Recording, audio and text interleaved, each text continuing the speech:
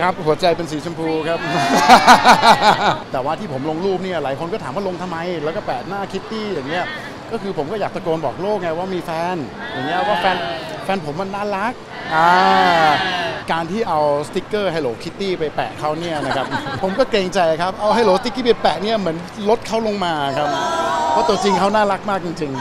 ๆ คนเจอกันเยอะแล้วก็เข้ามาทักใน IG อะไรเงี้ย มาชมบอกว่าแฟนผมน่ารัก เต็ม 10 ผมให้ประมาณสัก 18 ครับ ก็คงต้องเรียกว่าคลั่งรักครับ ก็ต้องบอกว่าจริงๆแล้วคือเข้ากันได้ดีมาก เข้ากันได้ดีมากจริง ๆ ครับ ลงแหวนครับใช่ครับ